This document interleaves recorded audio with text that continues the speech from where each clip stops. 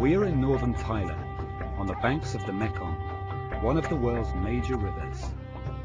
This mighty river originates in the Tibetan highlands and flows through China, Myanmar, Thailand, Laos, Cambodia and Vietnam. Its journey covers more than 4,000 kilometers. The Mekong provides water for drinking, farming and fisheries for over 60 million people. Along the way it also helps generate a lot of electricity. But these multiple uses have degraded the river environment in many places. Tensions and conflicts have arisen from damming upstream, overdrawing of water and river pollution. There's also a greater threat. The Mekong may just not have enough water for everyone anymore.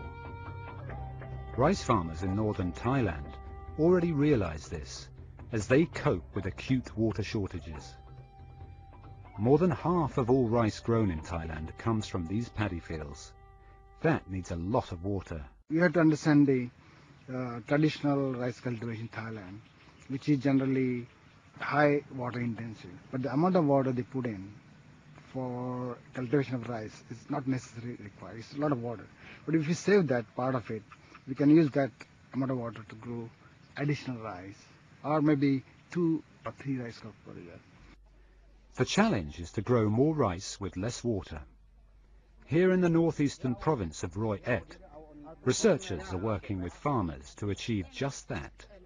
They are trying to improve rice yields while applying water sparingly at specific stages of the rice plant's growth cycle.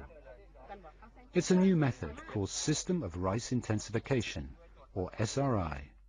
This research is carried out by the Asian Institute of Technology and Thai Education Foundation.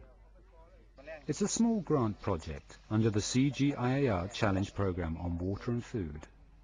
At the core of their efforts is a weekly farmers field school involving 30 farmers.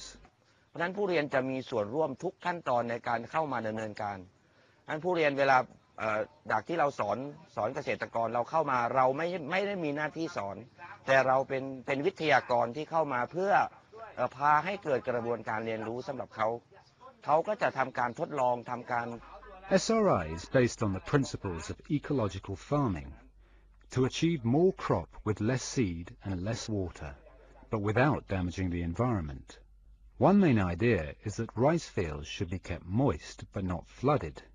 For this, they use mulch. We are trying to incorporate the green manure crop. So we started with adding organic matter. Then by use of green manure, we are adding further mulch to the soil. So that way, substantial water reduction can be achieved. Another method is intercropping rice with other crops, such as beans. This provides green manure, reducing the need for chemical fertilizers. But the biggest change came in how rice is planted. This system calls for transplanting rice plants when they are just 12 days old.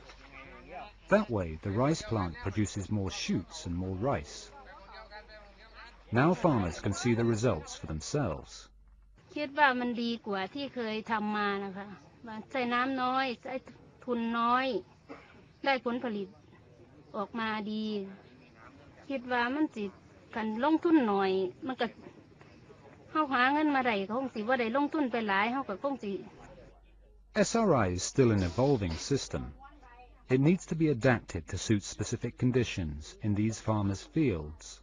At the end, we, we would like to see that uh, farmers are convinced with the benefits of this new technique and they will continue to use this technique in years to come and help the uh, grow more food for the province, for the Thailand, and for the growing population in the world also. This is a small beginning, but it may lead to a whole new way of managing the Mekong waters.